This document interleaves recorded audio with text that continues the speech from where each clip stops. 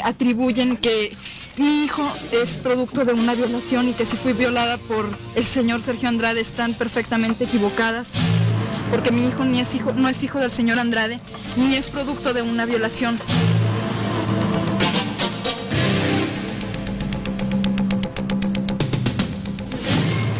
Sergio, efectivamente, impartía castigos diversos y físicos, de los cuales aún tengo marcas en mi, cuer- en mi cuerpo.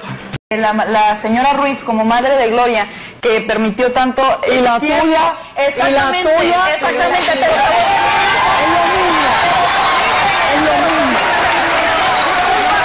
gente.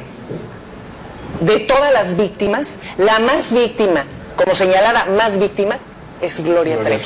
Claro, porque ellas no estuvieron ante un cadáver, porque no tuvieron a sus hijas ahí metidas. Y una cosa que yo quiero decir muy importante, Cristina, es que a mí me da mucha tristeza el criterio que tienen algunas personas en nuestro país tan triste y en algunos medios de comunicación. ¿Cómo pueden promover los valores y el defenderse y el hablar y el denunciar violaciones? Y por otra parte, ah, pero es Gloria Trevi y es Gloria Trevi. Sea una celebridad, un delincuente. O.J. Simpson, si mató a su esposa, no deja de ser un asesino.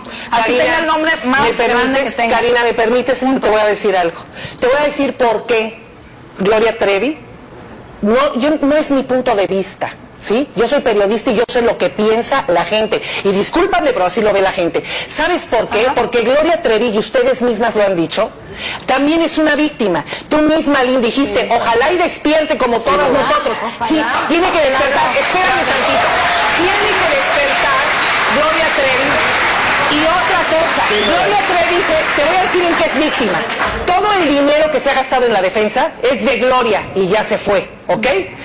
La carnada para traer a todas las niñas que querían ser Gloria Trevi fue la propia Gloria Trevi. Claro, y ella, y ella envolvió, y ella lloró, y esas lágrimas que ella ahora las echó en la casa Karina, perdóname, agradecele a Dios tener tu hijo, qué bueno que lo tengas. Gracias a Dios, Gloria- por supuesto. Gloria no por puede platicar lo supuesto, mismo. por supuesto. Y, el ella misma, ella misma sabe y por el qué. problema de Gloria Qué es que triste, para la nada más una cosa, señora. de un- de un proceso. Nada más una cosa, qué triste que aunque Gloria despierte, su hija ya no pueda despertar. Qué triste. Pues sí. Eso no ¿Y por qué razón? Fíjate, tú, si tú, Y ella la yo mató, estuve ella ahí. la mató. ¿Es Claro, claro que sí. Ah, perfecto, tienes la nota, Cristina. Cari, eh, la- eh, Señora, la yo mató. estuve ahí. Sí, Y perfecto. 13 personas, eh, 11 personas más. Sí, y los niños. Yo estuve ahí. ¿Pero Ustedes no- quién mató a la niña? No, Según no tú. dice que- no dice Discúlpame, que Gloria ¿tú ¿Tuviste a Gloria Trevi a ella matar a su hija? Sí, ella le puso las cobijas. Con el propósito, Karina. No estamos hablando de propósitos, no, No, porque es yo no, perdóname, pero tú tú discúlpeme. Pero Discúlpeme. si vas a decir ¿Qué ella lo dice?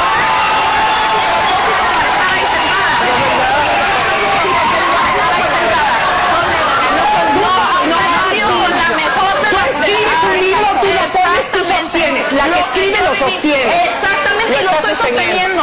Pero ¿Sí? yo no soy usted, ¿Cómo lo soy, cómo lo a soy, entender en tu eh, libro? Permítame, señora. Perdóname, ¿cómo lo a Bueno, me entender deja en tu hablar, libro? me, Sí, me está claro. preguntando, déjeme contestarle. ¿Sí? Sí. Yo no estoy adentro de usted ni estoy adentro de ella para saber sus intenciones. Punto. Los hechos son los hechos y nada más. Y fue a lo que yo me concreté, a los hechos. Yo nunca dije si lo hizo con una determinada intención, porque no lo puedo saber. ¿Qué es lo que yo estamos- misma no sé por qué ¿qué es lo que estamos discutiendo aquí para los que no sepan, por ejemplo? Momento, momento. Estamos cerrando el programa. Dice, bebé lloraba, bebé lloraba, Gloria le puso las cobijas encima para que se callara. ¿Ok? Y no se la saltó. Y no se las quitó. Y se ahogó. Pero también hay que comentar Pero que sí después que fue que la descuartizaron. Eso yo nunca dije que las ¿Quién lo descuartizaron. Fue mi programa. Yo nunca dijo, yo jamás dije que las descuartizaron. Está en mi libro, lo pueden revisar. Yo dije, no, no sugerí absolutamente nada. Yo dije textualmente lo que yo escuché, lo que supe, que a la persona a la que le tocó y le encargaron en un momento dado deshacerse del cadáver comentó lo que a ella le tocó vivir y son cosas muy aparte. Simple y sencillamente, y ni siquiera quise decir lo que yo suponía por lo mismo, porque a mí no me gusta eh, ser una influencia. No, pues ya está perfecto, porque ahora que venga Gloria, ¿sabías, Cristina, que van a anexar, porque obviamente con la denuncia que hubo en, Brasil, anexan el caso de- de, de Ana Dalai y vienen a México con ese, eh, ese anexo, que van a investigar. Me parece muy bien, porque vas a tener tú la oportunidad, Karina, de estar frente a Gloria, porque ahorita tu posición es de la protagonista, ¿me entiendes? No, sí, señora. porque viene la De de la protagonista de mi vida, de mi vida, no de la suya ni de no, no, no, no, De no, mi vida yo soy la protagonista. De la mía no. De la Señoras y mía. señores, situaciones difíciles que yo he pasado en mi vida, no me avergüenzo de ellas. Al contrario, son un testimonio de la fortaleza que Dios me ha dado para levantarme a pesar de tanto daño que yo viví en una etapa de mi vida, para levantarme y seguir adelante. ¿Qué te gustaría decirle a esa Karina? Esa niñita de 12 años, de 13 años, que tenía tantas, tantas ilusiones, tantos sueños por cumplir. Eh, fíjate que le daría todo mi amor, mi cariño, un abrazo fuerte. Porque hay cosas, hay cosas que nadie debería de vivir, y menos a los 12 años. Yo eh, le doy muchas gracias a Dios. Dios ha sido mi fuerza en mi vida. Y le doy gracias a mi papá por el amor que, que él puso en mi corazón hacia Dios.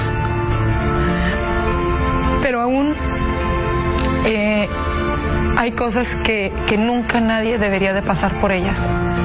Menos una niña llena de ilusiones. Menos una niña que le encantaba la escuela, que era una niña alegre, que disfrutaba su familia, su vida.